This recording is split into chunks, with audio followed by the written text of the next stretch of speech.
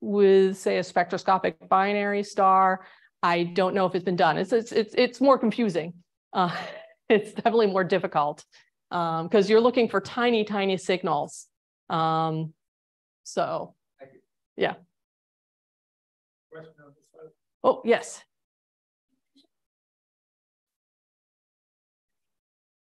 Yes. You know, you have this uh,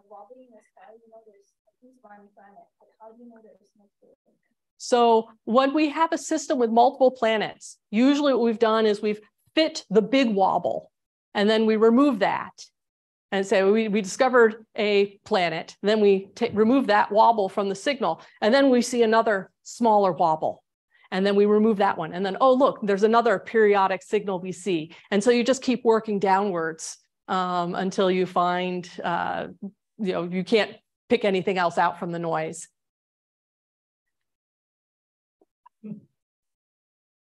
Okay, this is a less than perfect device. Come on. So anyway, if the, the our um, modeling shows us that if we properly do an adaptive secondary uh, mirror and use adaptive optics on the APF, you can get nearly three times as much light through that slit, which means you can either look at three times more stars in a night or look at stuff that's three times fainter um, so it's like transforming our one APF telescope into two or maybe even three APF telescopes. So huge advantage. So this is um, what's in progress. I'm not quite sure if we have a date. I think we're still trying to raise money to uh, finish this project, but it's well underway and very exciting if it does get uh, implemented. Um, speaking of planets, we're moving back to planets in our own solar system with one of our newest telescopes, PEAS. That's planet as exoplanet analog spectrograph. It's a mouthful. This is a half meter plane wave telescope. So if you have enough money, you could buy one of these yourself. They're actually fabulous little telescopes. Um, this was put together with all off the shelf parts by a postdoc at uh, UC Santa Cruz named Emily Martin. And um, we have this problem. Planets in our solar system, we can see in great detail planets in other solar systems around other stars we can't see in detail. So this telescope has an instrument that is designed to scramble the light from, say, Jupiter to make it sort of look more like an exoplanet around another star so that we can start figuring out what we might be seeing with spectrographs that can actually look at the atmospheres of planets around other stars. Now, the James Webb Space Telescope, you might have noticed in just the past few days, has had press releases about planets with no atmospheres and planets that might have, you know, other important elements like water or carbon dioxide in their atmospheres. Um, but this is going to help us by studying planets in our own solar system as if they were planets in another solar system and see what information we can extract as we get these new and better um, instruments. Now, the PEAS, essentially, it, it does two things. The light comes through the telescope, goes to an instrument, and then they split off some of the light to just take regular old pictures, like all of us are familiar with. And then the other half of the light goes to what's called an integrating sphere. So this takes all the light and essentially scrambles it um, and then spits it out into a spectrograph so we can look at the spectrum. Um, in November of 2020, it finally saw first light. It was a bitterly cold night. Oh, so this is Emily Martin and Andy Skemer with their first light information, but they took a spectra of Mars. So the spectrum actually goes into many, many fiber optics. So each one of these lines, horizontal lines on Mars is a separate spectrum from each fiber optic. Um, and then the sky background. So they said, yeah, they were really looking at Mars. Anyway, this telescope does not have its own dome. It lives in the basement of the 120 inch telescope. It's on a cart and we roll it out. Our undergraduate students roll it out, take their data.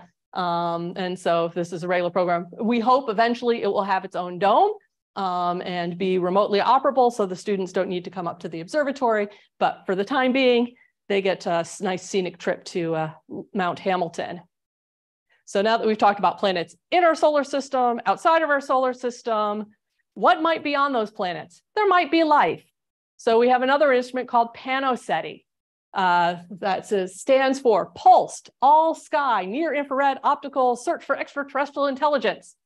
Uh, quite a long title, uh, but this is a program that actually started at our Nickel telescope with an optical SETI program looking for laser pulses in the optical from other civilizations that might be out there. Now we've looked for radio signals for a long time. We've only been looking for optical signals on the order of hmm, 20, 25 years. Um, haven't discovered anything yet, but we keep expanding the technology and the technology keeps getting better. Um, so now in the, this dome used to house the Carnegie Dual Astrograph. That telescope was retired a couple decades ago from use. And uh, we just put the two, excuse me, the two PanoSETI telescopes here at the bottom of the slit. Um, so these are two I don't know, 12 inch telescopes with Fresnel lenses on the front. So they have wide fields of view. And these telescopes don't move. They just look at the sky as it drifts overhead. Um, and uh, these new technology called multi-pixel photon counters are sensitive all the way from the near ultraviolet at 300 nanometer wavelength all the way through the optical into the near infrared to uh, the 1650 nanometer wavelengths. So there are a lot of different laser technologies out there that lays at very different wavelengths. And this system has a good chance of detecting pretty much anything at the laser wavelengths that we're familiar with uh, using regularly. And so it's searching for these very short, transient signals. Um, in fact, I'm very excited about this project because um, it shows we're sensitive. Oh, part of the plot is not showing here. Interesting. There's supposed to be a big gray box on the left-hand half of the oh, of the screen. So I'm not quite sure what's weird with the display here, uh, that you can't see it all. But um, things in our universe are often variable and change brightness over time. And over long time scales, you know, minutes, hours, days, years. We have a lot of technology that's sensitive to it. When we start looking at things that change over time scales of nanoseconds to, you know, ten, tenth of a second, there's not a lot of technology that detects it. These multi-pixel photon counters that Shelley Wright from UC San Diego is using in her PanoSETI instrument can detect nanosecond pulses. So if you're using a super fast pulse laser, her instrument will see it. Um, and you know, so so we're not not just hoping to see lasers, but there are other astrophysical phenomena down here that run super fast and might be pretty bright that we may never have noticed before that her telescope will detect. So we have every chance of discovering new astrophysical phenomena as well as extraterrestrial intelligence. Um, you know, pulsars can you know change brightness pretty quickly, you know, up to a thousand times a second. Um, but as I said, there's a lot of parameter space here where there's just nothing in this plot that no one's had an instrument sensitive to before. So we have that. So as well as having the chance of detecting lasers. Yeah. Conversely, are we sending out signals with say a pencil laser or some other laser to see if we get any response? We have not purposely sent signals out with lasers that I'm aware of. Now, we certainly have lasers powerful enough that have sent signals out into space that could be detected by other civilizations.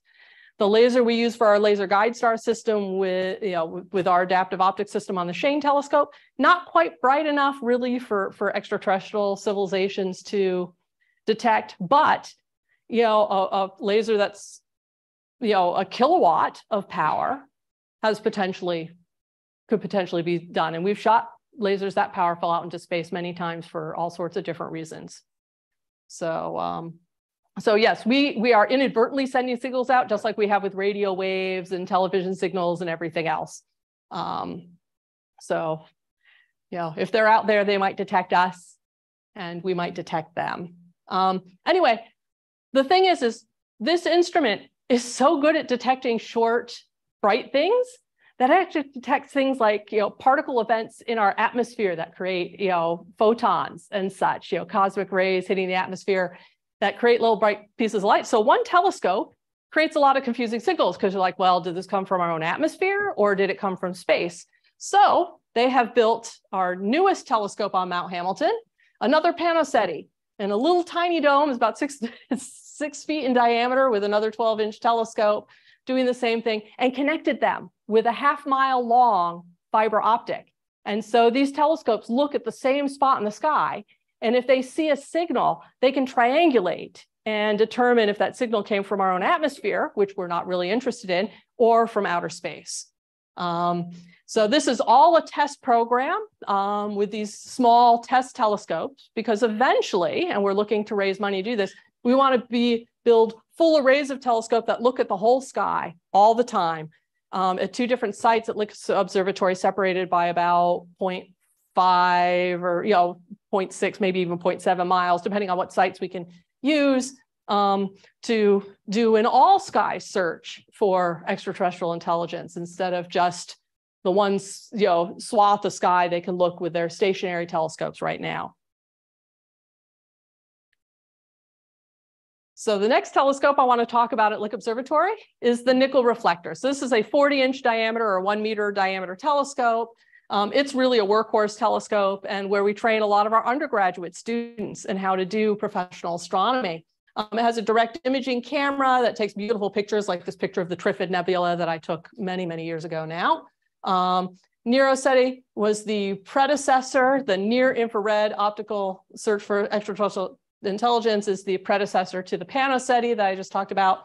And then new last year and this year, we have two things. We have a wavefront sensor. Now, a wavefront sensor is that part of the adaptive optics that measures the turbulence.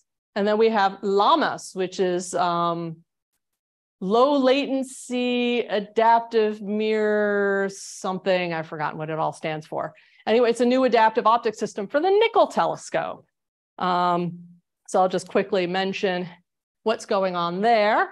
Um, first, the wavefront sensor. As I said, the wavefront sensor is a gizmo that allows us to measure the turbulence.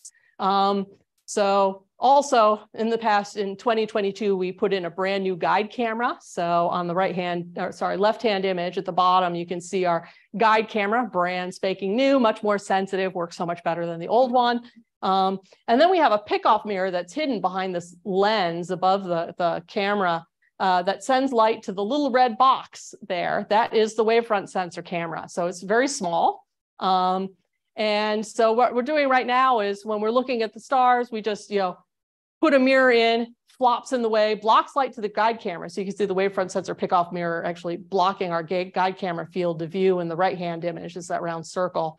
Um, and the black blob blocking some of that circle is the pickoff mirror that's sending light from a star to the wavefront sensor. Unfortunately, I couldn't get from, from Maaike Van Kooten, the, the PI of this, a picture of the wavefront sensor image itself um, for this talk. But, uh, but she is, at the end of every night, measuring what the turbulence statistics are. So once we know the turbulence statistics, um, we can look at making better adaptive optic systems. But it's mostly just characterizing this. But it's new, fun hardware that we've installed at the observatory. Um, and, uh, and then we have um, LAMAS, and this is a project from Lawrence Livermore Labs that is going to put a fully functional adaptive optic system on the nickel telescope. Um, this is a test program. It's not going to be permanently installed, but Instead of an optical laser like we use at the Shane telescope, that's at 589 nanometers, which is yellow, um, it's going to use a UV laser. So we won't be able to see it with our eyes. And it's going to be super powerful. It's a 100 watt laser. So 10 times more powerful than what we use at the Shane. Um, but uh, it's going to be, this is a system that's designed to work super, super fast and to correct things because right now adaptive optics really works best for fixing turbulence in the near infrared. It turns out that the shorter the wavelength of light, the more turbulence affects the light and it's harder to correct. So adaptive optics systems with you know, previous technology worked really well for correcting the turbulence that affects near infrared light not didn't do so well for optical light. This system is going to be optimized to do optical correction so that you could observe, say, green light and uh, uh, get nice images. Um, we're working on getting the laser installed. We hope by June. We'll see. I'm working on all the paperwork for Space Force and FAA to, so we are allowed to use this laser safely. Um, but you know, we'll get beautiful images. You can see here at the upper right, whoopsie, at the upper right, this is what a short exposure image looks like through the telescope, big blob, and then the simulations of how it will work with the new adaptive optics. You get a nice point-like source there. Um, so as I said, lots of new technologies coming. So the last thing I'm going to talk about is my own research, my own scientific research. So we're sort of getting off the planet and adaptive optics train, but getting back onto the Shane three meter telescope and using our other major instrument, the Kast spectrograph, um, which is a medium to medium resolution spectrograph. One of the most common things that are observed with it are supernova explosions. We have a robotic telescope at Lick Observatory called the KAIT, Katzman Automatic Imaging Telescope, that uh, discovers supernovae, and now there are many robotic telescopes around the world that discover supernova explosions, and then we characterize them with the Shane telescope. So here's some data. This was the first data um, after we uh, reopened with the pandemic and figured out remote observing with the Shane um, from people's own houses since they couldn't go into their offices. Um, but we were looking at uh, supernova 2020 uh, JFO, um, which I believe is a type 2 supernova. Anyway, the line that's vertical is the supernova, and then all the horizontal lines is uh, noise from our atmosphere or city lights here in San Jose. Um, and of course, a lovely picture of our staff at Lick Observatory in front of the telescope that was taken right before the pandemic started. Um, anyway, the research I do is on quasars. And quasars are supermassive black holes at the centers of distant galaxies. And quasars are characterized by having a supermassive black hole, an accretion disk around it. Um, then there's usually a big dusty torus, and sometimes they have jets coming out. Um, there's often diffuse gas further away that gets illuminated by the, the quasar core. Um, stuff gets super hot um, and uh, disrupted very close to the black hole. As stuff gets spaghettified and stretched out, it generates a lot of heat, hence a lot of light. Um, there are a lot of things, complicated things going on in there. Anyway, depending on how you view this thing depends on what you see. Um, if you're viewing from, you know, say up here, so you can sort of look down into the core accretion disk area, you get what are called often type 1 Seyfert or type 1 AGN, active galactic nuclei. Um, if you look from the side, you know, through the, the dust torus can block stuff. So you get a different looking spectrum. Um, anyway, these were things were discovered in the 1950s um, in the radio. And when they looked at these radio sources, they looked like stars in the optical component. So they were called quasi-stellar objects or quasi-stellar radio sources. Um, we still call them QSOs today. Um, later on, it was discovered that they were black holes in the centers of galaxies. Um, and it turns out that the original quasars were all identified via radio sources, but there are a lot of quasars that don't have radio components. That's so we don't see radio emission from them. Um, so one of my research projects is to discover new quasars because they've been selected by optical surveys, um, they've been selected by radio surveys, but it turns out there are these, whoopsie, um, quasars that are dust obscured. So they don't show in the optical with the same colors as the, the blue type 1 AGN. So this is the accretion disk and torus in uh, the schematic here. And so blue type ones we know a lot of, uh, but these red and ones that have dust in their own galaxy or dust from galaxy mergers, we're not quite sure where the dust is coming from, that makes them look redder, um, can block the optical light. Um, and so we're trying to, one, discover these red quasars, and two, figure out, is this a phase of their evolution? What is the environment they're in? Um, how many, what proportion of the population of quasars these are. Um, we're using a lot of different telescopes to figure this out. We start with the Sloan Digital Sky Survey, and we just picked uh, the data release stripe 82, uh, data release 7 stripe 82, because it was a confined, reasonable area that we knew we had data from radio telescopes and other telescopes that also covered the same area. Um, and it turns out the Sloan Digital Sky Survey uh, telescope is very effective at finding blue type 1 AGNs. It's really good at that. But uh, obscured sources, both type 2, the ones that you're looking sort of side on with the torus, you know, of, of obscuring gas, and red type 1s are missed. So they may be there, but not identified. They may be seen by Sloan, but not identified as quasars in their surveys.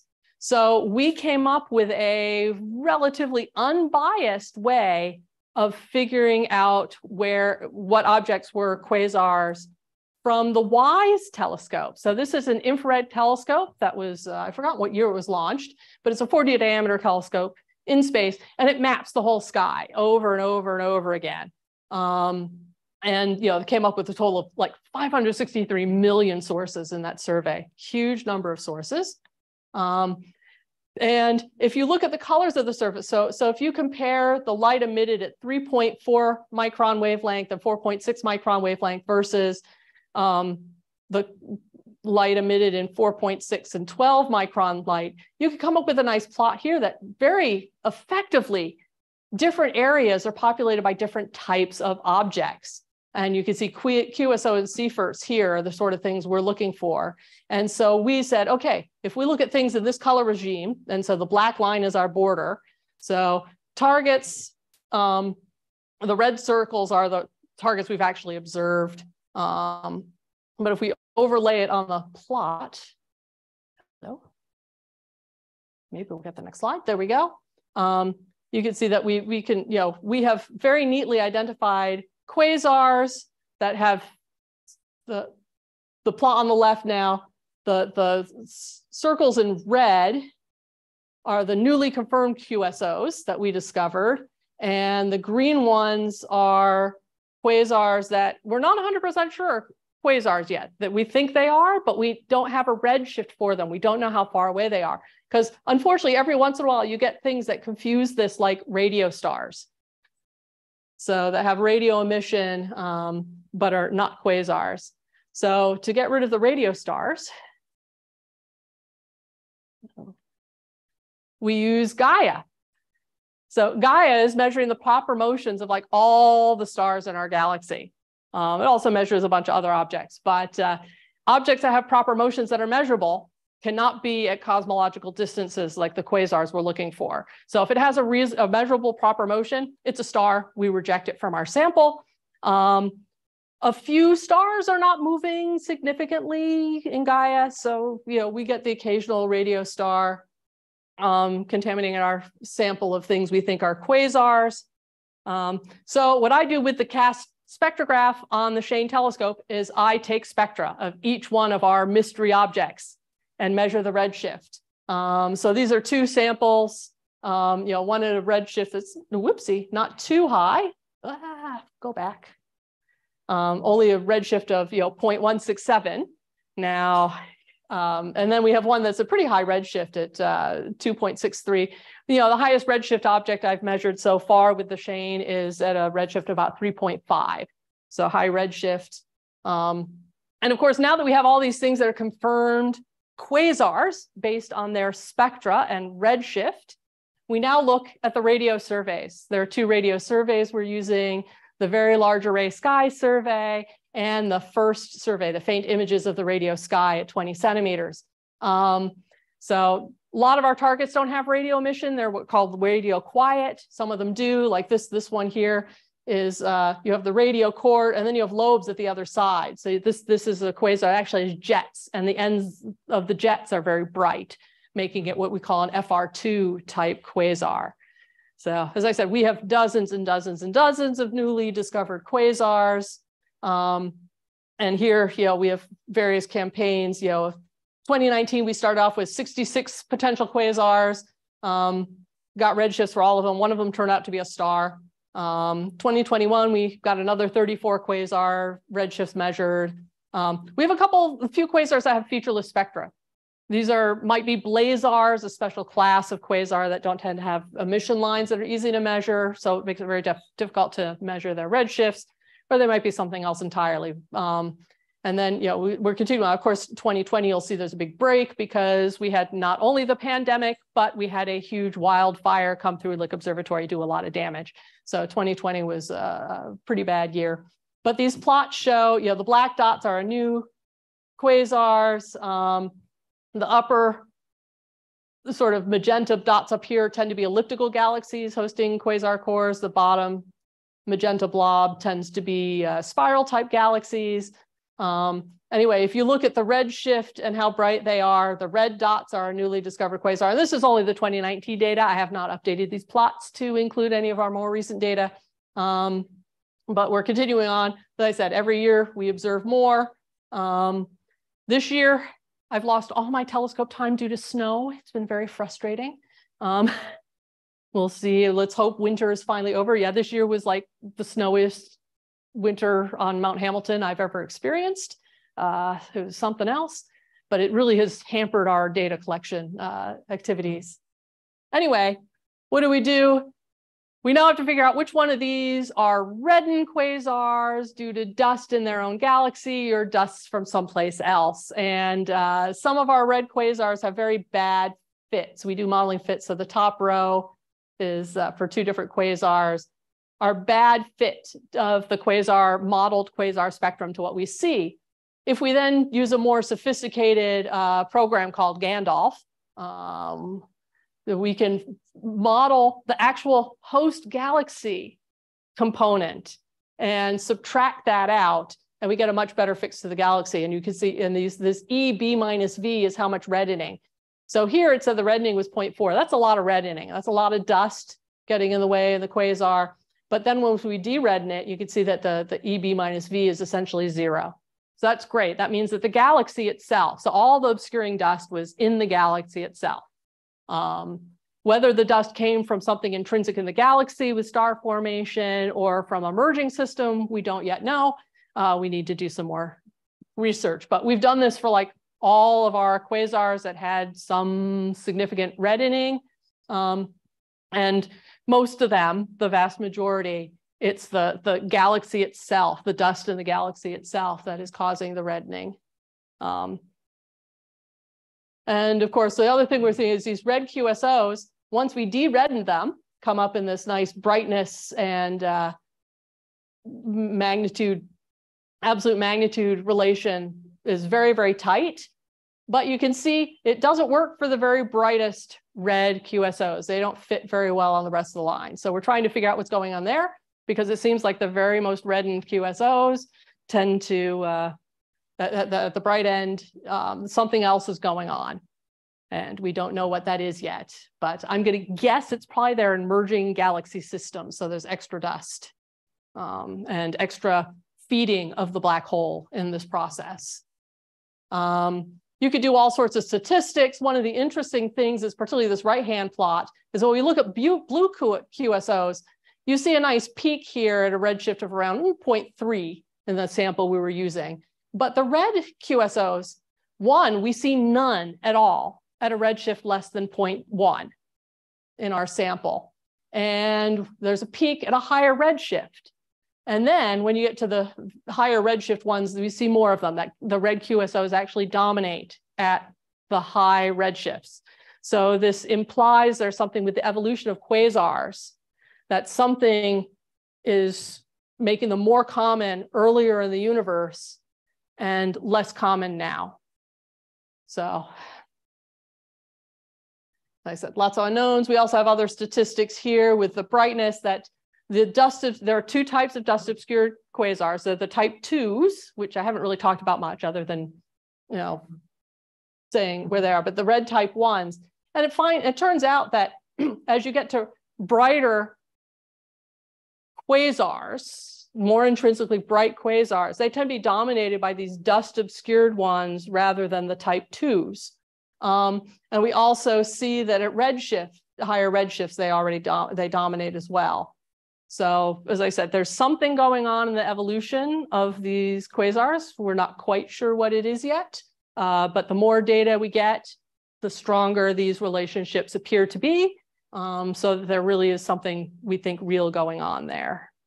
Um, And again, and we also looked at the radio emission. It turned out these red QSO are more likely to be radio loud than the other types of quasars. Um, and so we've been looking at these uh, quasars, and we have four different sort of types of radio sources. Ones we call faint. They're faint but compact. Uh, compact sources, which look essentially point source-like. We have extended sources, and then we have the FR2 lights, which are sort of look like they have jets and you know bright lobes at the end of the, the radio jets. And if we look at our blue versus red QSOs, the red QSOs tend to be much more likely to be faint or compact sources versus uh, the FR2 types. Um, essentially, we don't find many red ones like that at all. They're in our sample. They're just, uh, they tend to be all blue or virtually all of them blue. Um, so we're starting to discover different characteristics of these, as I said, trying to tease out what is happening over the history of our universe. But first we have to discover these things. And so that's what I'm doing with our three meter telescope and measuring all those red shifts. Um, and so in closing, uh, since I, I, hope you've gotten a sort of feel of all the exciting things that are going on at Lick Observatory, um, you can come and visit us. We have public programs. Uh, tickets for our public programs for the summer will go on sale later this month. Uh, you can go to lickobservatory.org to find out more information. Our visitor center is open Saturdays and Sundays, noon to 5 p.m. Um, you know, the Shane Gallery, the visitors gallery is open every day, 10 to 5 p.m. And uh, you could also join the Friends of Lick Observatory. And we have an online gift shop in case you can't get up to the mountain during the hours that the gift shop is open. Uh, so thank you very much.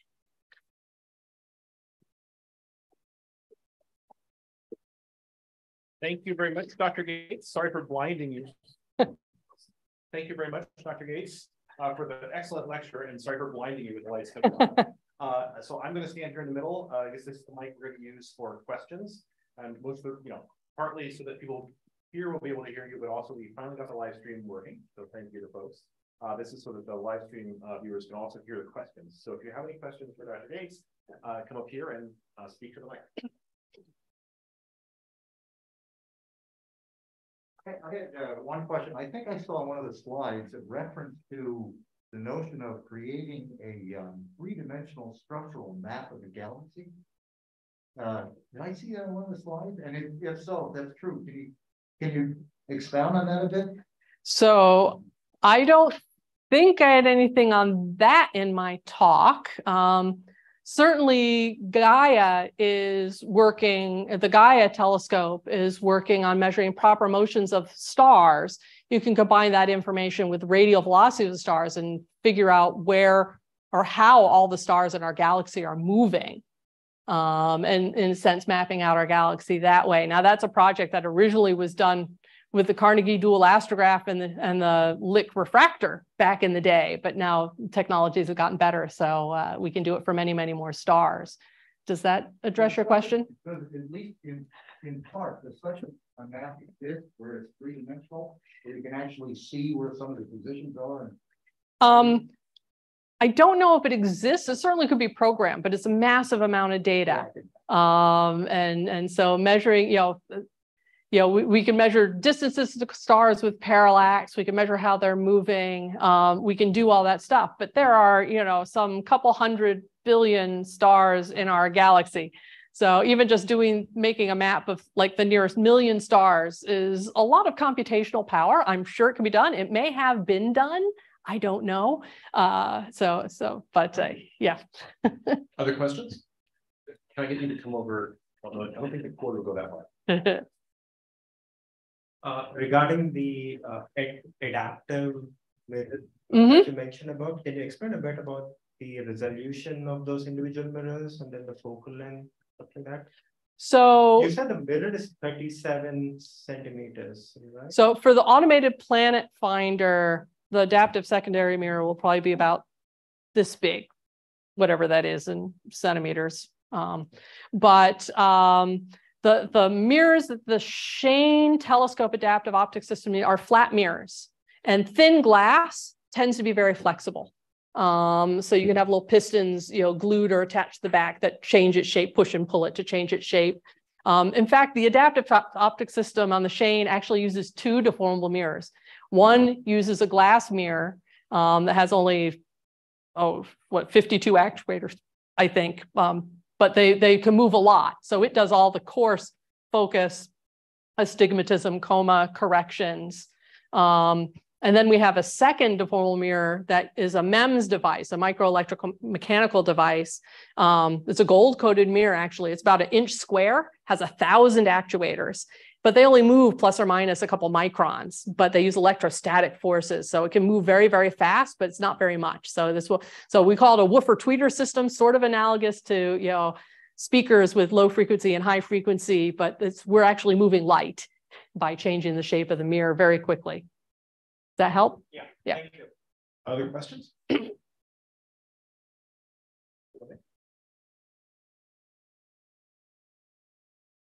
Are you gonna be able to build any new domes on the mountain? Or is, I know that there was some EPA issues in the past, and I'm just curious, are you rolling telescopes out on parts?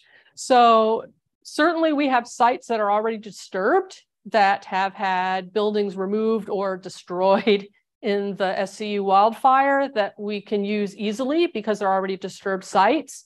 Um, sites that have not been used for telescopes before, we do need to do environmental impact assessments and such like that.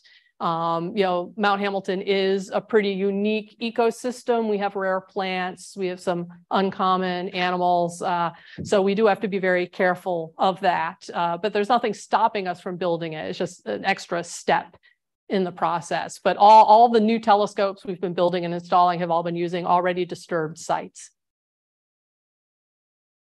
Hi, uh, so you discussed a lot about highly redshifted quasars. Yeah. I was wondering that uh, James Webb recently released uh, some pictures of extremely highly redshifted galaxies, about like 13 to 15 redshifts. So right. Do you think your data will be able to complement James Webb's observations or you know, they can build on each other? Yeah, certainly the wonderful thing about James Webb, you know, space telescopes and ground-based telescopes is they can do very complementary science. James Webb is very particularly designed to look at infrared wavelengths. Um, it's a big mirror, so it can look at super faint stuff. Uh, the problem is there's only one, and there are a whole lot of astronomers that want to use it. But the, the data my colleagues are getting from UC Santa Cruz with those extremely high redshift galaxies um, is really helping us understand the very early history of the universe. And, you know, we're, it's looking like those galaxies are remarkably evolved for as high redshift as they are, which is a surprise. Um, so we're looking into that. But, you know, at what point do they turn on and become quasars? When do the massive black holes at their cores become you know, active and so that we see emission from that. So, so there's a whole lot going on and, you know, so yeah, it's just, it's expanding what we can do. And, and we hope that you will be able to mesh all the data sets and really understand galaxy and quasar evolution from the very earliest times of our universe. Okay, any more questions? Oh, one more in the back there. We'll see if the cord will go that far. You might have to get up. when you're looking at the quasar, do you happen to notice a gravitational lensing because of the distance so high and the galaxies in between? So none of the quasars we're looking at are gravitationally lensed. Um, there are a few out there that people study, but the ones we're discovering have not been lensed quasars yet. Um, doesn't mean we won't find any, but all of them so far have been unlensed systems. Any more questions? Oh, I see one more here. So I'm just curious, I mean, you're, you have telescopes set up in one of the most light polluted places in the world and how, you know, how well are you able to mitigate that? So mitigation is a couple different things we do. Uh, one is we try to work with the, the city planning commissions, et cetera, so that they do use appropriate light, lighting to preserve the sky we have. Um, there's been a lot of problems with electronic billboards and cities not wanting to necessarily adopt the standards that the International Dark Sky Association recommends for appropriate lighting. Um, so that's one of the things we do. Uh, the other thing we do is that Lick Observatory has changed our focus. We now focus much more on developing new technologies and new techniques uh, because we're a lower altitude facility, which means there's more air and it's easier to think at night when you're trying to figure out new difficult technologies. Um, we're also close to San Jose and the University of California, Berkeley and Santa Cruz. And we also have shops at uh, UCLA. So, so we have this huge brain trust in the reasonably local area to help us build new innovative technologies for doing new science. Um, the other thing we've done is we've changed what science we do. We have shifted to doing more infrared work because the infrared sky is not affected by the city lights in San Jose. Or we've changed to doing survey work for brighter targets. Like when we look for planets around other stars, we you know, with the APF, we can only look at one star at a time we choose the brighter stars in our galaxy or ones that are already known to have planets because of transit uh, discoveries with Kepler and, and other telescopes. Um, you know, discovering supernova explosions, they tend to be pretty bright. So we, you know, we have a robotic telescope discovering that. So we, we have focused our science onto more survey work of brighter targets that are not affected so much by the light pollution. So is light pollution good? No, I mean, we all want less of it, but uh, but there's plenty of science to be done, even with our less than perfect skies. Okay. Uh, uh, is there another? Okay, uh, excellent. Yeah, go for it. Are, are your high-tech lasers produced here in the valley? Uh, so the laser we use on the three meter was built at Lawrence Livermore Labs. Um, the one we're installing on the 40 inch telescope is a commercial laser, so I'm not sure where it's actually built. So for the uh, SETI, the optical SETI uh, program, you were talking about uh, trying to detect um, very, very short pulses uh, of light. Uh, for some reason, uh, probably something you guys are, have already thought about, but there's a, uh, telescope in Arizona, I think it is, that's a um, multiple 10 meter mirrors looking at TeV gamma ray astronomy. Mm -hmm. And I know they're down at that really, really short right uh, time uh, wavelength. Can you say anything uh, about like how that technology differs from, from what you're doing with the with the PanoSETI? So, so detecting gamma rays is a really very, very different technology that I am not very familiar with at all. Um, but we do know that gamma ray bursts can be very, very short. Yes. Um, but some of them create optical afterglows that can last, you know, seconds to minutes. Uh, so, so that's one of the things that some robotic telescopes, including at Lick Observatory, have looked for is these optical afterglows from gamma ray bursts. Um, will there be some overlap in what SETI or the PanoSETI discovers and the gamma ray bursts? It wouldn't surprise me at all because now we're getting you know, that gamma rays are such high energy uh, compared to the UV to IR that we're looking at with PanoSETI that, as I said, there's a possibility for all sorts of discoveries and maybe knowing more about these gamma ray bursts if they do happen to have short, very short uh, optical properties as well. Okay.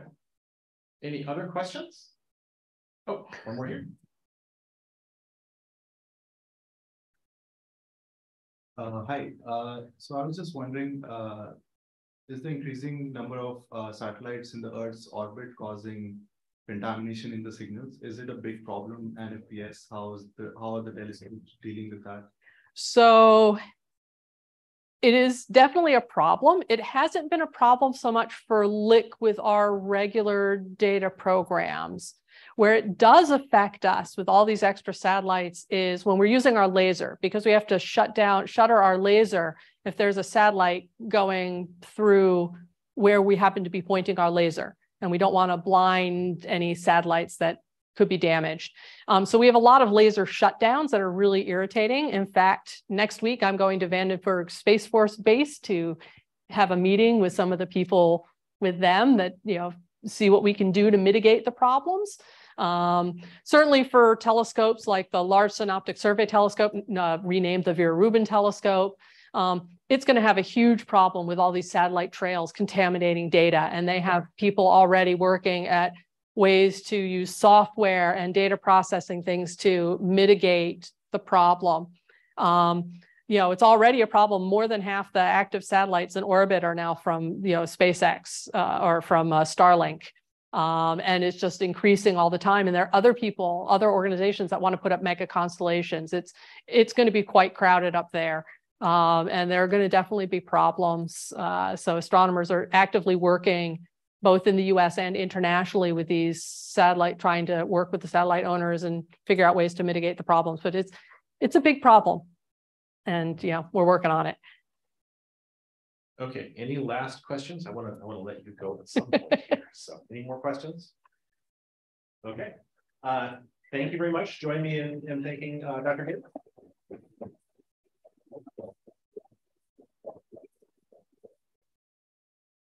So again, thank you for coming. Uh, please uh, look at our uh, uh website if you're uh, uh, if you are not that familiar with all our activities. I think we're getting more and more things back in operation post pandemic. So we have star parties here in town. We have out of town star parties. We have daytime observations with a solar telescope. We have a loaner program. we have a library over there. We have all kinds of activities. If you want to volunteer to help us with any of those things, that's awesome. If you want to take advantage of them, please do. Uh, as you go out the door, stop by the snacks, and then also um, please uh, fill out the, uh, um, the, the sign-in sheet back there. It helps the city to know how many people we have coming out, so we would love to see more names on there. Uh, and then uh, also uh, there's a survey there for quality of the event. So if you can do those two things, that would be awesome. We'd really appreciate it. And again, thank you for coming out. Thank you, Dr. Gates.